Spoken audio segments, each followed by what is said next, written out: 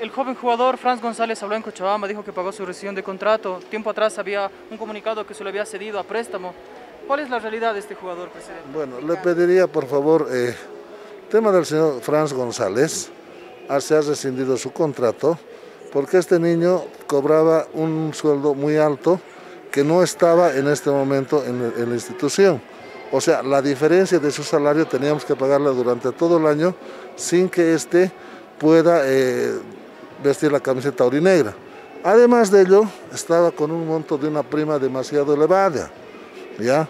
Y para conocimiento de todos, el Stronger no ha pagado 80 mil dólares, no ha pagado absolutamente nada, que eso refleja nuestros estados financieros, ¿ya? Y los 20 mil dólares que han ingresado a la institución ha sido la compensación de los, de los dineros que él ha recibido y ha entrado a las cuentas institucionales ya como ustedes lo pueden advertir en el momento que ustedes lo quieran conveniente.